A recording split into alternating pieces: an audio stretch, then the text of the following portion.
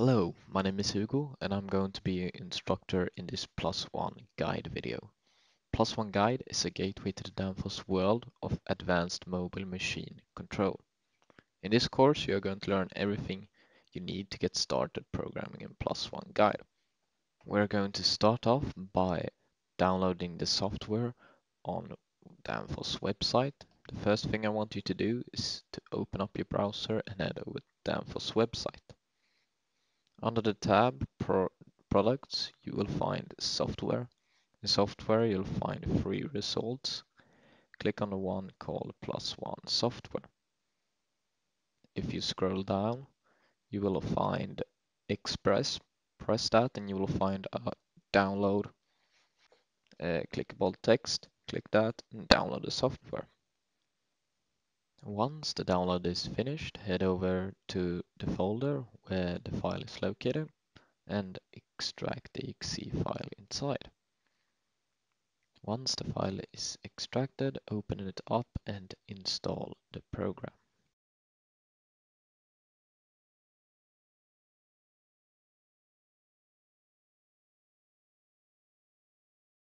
Once the program is installed, open it up and head over to Update Center. A pop-up box will show, it will tell you your current license does not permit you to run this software, select another one. Press yes, and if you already have a license, you can enter it here or you press get a trial. And in here you enter your first name, your last name and the company you work for.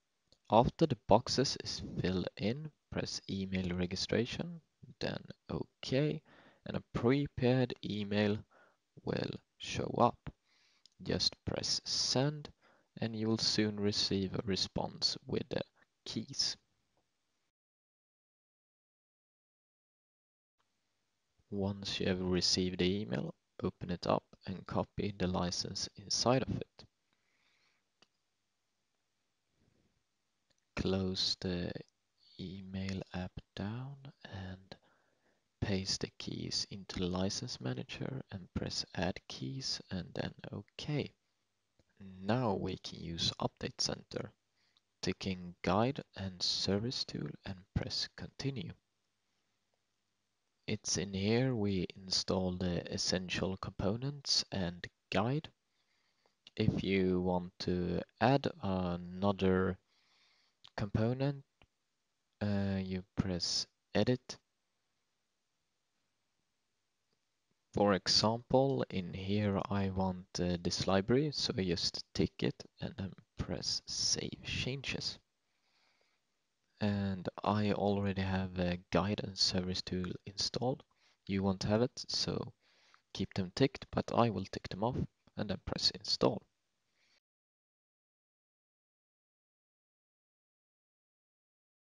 Once the installation is finished, close down Update Center and open up Guide.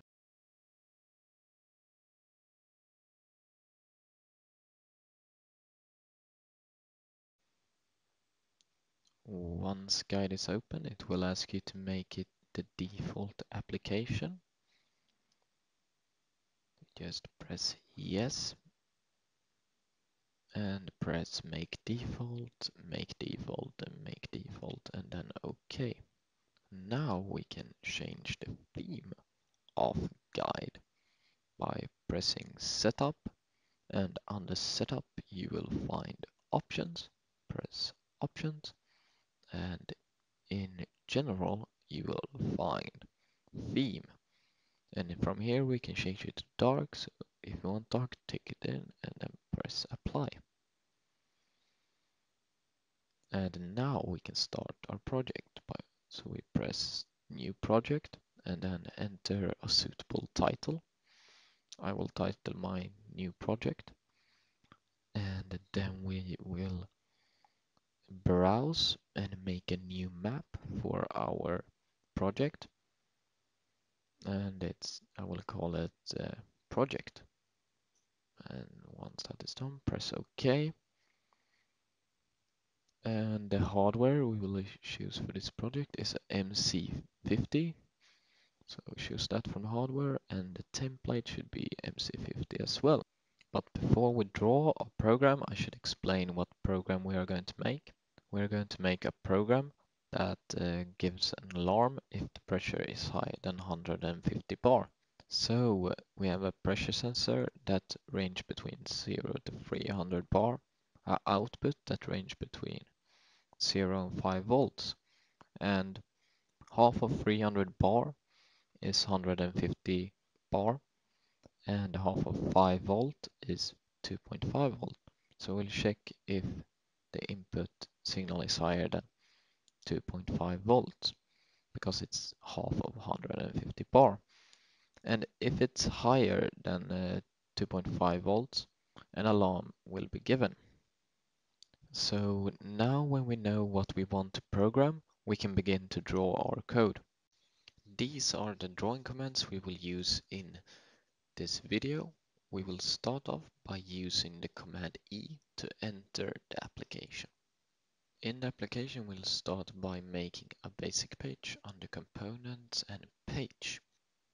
Just press basic page and place it between the inputs and outputs. Then press escape to abort program from placing another page. And then we press E to enter the page and then P to enter the page interface. In here we will delete the label of in2 and out2 and the connection to these one. And that's because we will only use one input and one output. So once you're done with that, scroll out to zoom out and then press S to mark everything but the bottom line. And this is used to compress the program then drag the cursor down to compress it. And once that's compressed we can leave the program and leave the page. And here we will press R to route the wire from the page to the output. And uh, here we press cancel because we want every output signal to transfer between the page. And same with inputs. We route wire between them and press cancel because we want every input to route through the page. Then we enter the page by pressing E. And in the page we will start by adding a six digit auto type. We'll find it under components and then constant and digit auto type. Then press it and put it somewhere in the middle. Then we'll add a greater. We find it under components, compare and compare and then greater. And then we put it in the program as well. Then we will start by making a bus by pressing R and we will route it towards inputs. And uh, in here we want a pin with an analog connection.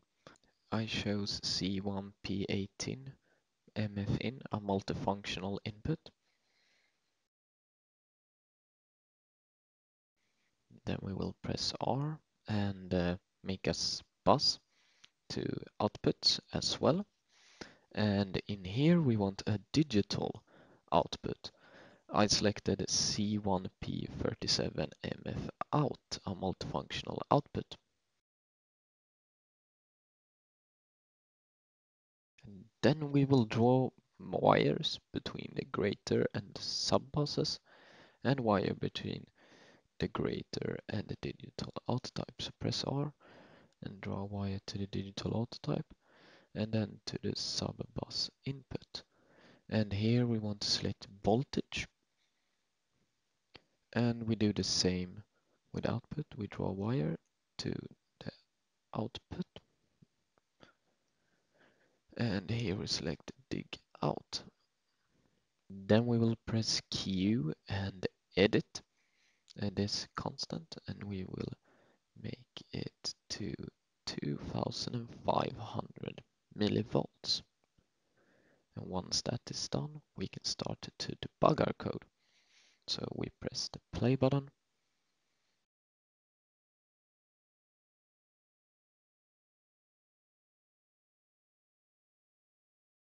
And uh, we will receive an error. And uh, that's because of this output pin. So if we press L and leave this page and we leave to the top level and then we enter into outputs and then we enter into the specific pin. We will find that dig out is set to false. So we press delete and we select the wire and delete the wire Now our code should work, so we press L to leave and enter into the application, to the page. And now we can start to debug our code. So we press play, yes. And now it should be good to go.